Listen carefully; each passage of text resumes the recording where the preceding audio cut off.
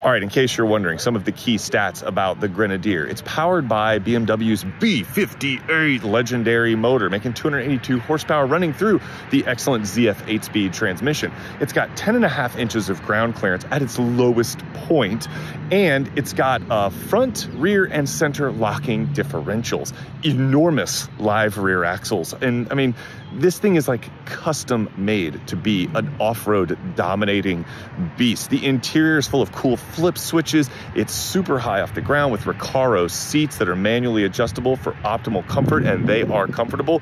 The thing is built like a bank vault because it sells in such small numbers, or it will. It didn't have to adhere to a lot of the normal regulations, so they were able to craft it to be purpose built for off road supremacy.